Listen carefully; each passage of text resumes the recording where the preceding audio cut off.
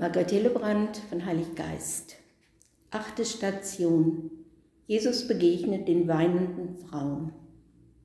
In dieser Station wendet sich Jesus den klagenden Frauen zu.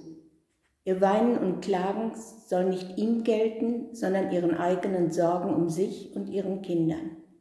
Ich denke bei dieser Station oft an meine langjährige berufliche Arbeit mit Alleinerziehenden und ihren Kindern hier in Iserlohn, in unserer früheren Familienbildungsstätte, wo wir einen Treffpunkt für Alleinerziehende mit begleitender Kinderbetreuung hatten, oder später an meine Arbeit mit Alleinerziehenden und deren Gruppenleitungen für das Bistum Osnabrück. Frauen, die in der Alleinverantwortung der Erziehung ihrer Kinder stehen, dasselbe kann umgekehrt gleicherweise auch für Väter gelten, ob getrennt lebend, geschieden, verwitwet oder unverheiratet ohne Partner, stehen vor großen Herausforderungen.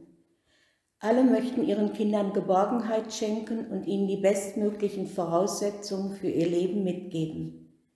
Dabei stehen sie selbst oft großen Schwierigkeiten gegenüber, wie zum Beispiel Finanzproblemen, Schwierigkeiten bei Besuchsregelungen oder Behörden, Schwierigkeiten in der Erziehung der Kinder die mit dem Verlust des Vaters oder der Trennung der Eltern nicht fertig werden, Verarbeitung von Trauer oder Beziehungsproblemen bis hin zu Alkoholabhängigkeit oder erlebten Gewalttätigkeiten.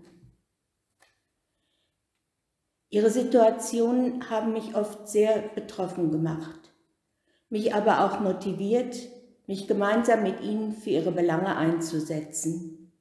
Die Kirche ist ihnen dabei leider auch nicht immer eine Hilfe, wenn wir zum Beispiel nur an die jahrzehntelangen Diskussionen über den Kommunionempfang vom verheiratet Geschiedene denken. Und das trifft besonders diejenigen, deren Glaube sehr wichtig ist. Der Umgang mit Alleinerziehenden erfordert viel Einfühlungsvermögen und Zeit für Einzelgespräche. In der augenblicklichen Situation des Coronavirus verdichten sich die Existenz- und Finanzsorgen der Alleinerziehenden und die bange Frage, bleibt mein Arbeitsplatz erhalten und wie sie in dieser Situation, wo die Kinderbetreuung nicht gesichert ist, Familien- und Berufsleben koordinieren können. Sie gebrauchen jetzt erst recht Anerkennung, Zuwendung, Verständnis und Zeit für ein Gespräch von Seiten ihres Umfeldes und auch der Gemeinde. Eine wertvolle Hilfe für die Alleinerziehenden, vor allem mit kleinen Kindern, ist die Kinderbetreuung, die zurzeit aber leider nur bedingt oder gar nicht möglich ist. Folgen wir dem Beispiel Jesu, wenden wir uns von unseren eigenen Sorgen und Nöten ab und denen zu, die unsere Hilfe gebrauchen. Beten wir füreinander in unseren unterschiedlichen Lebensverhältnissen.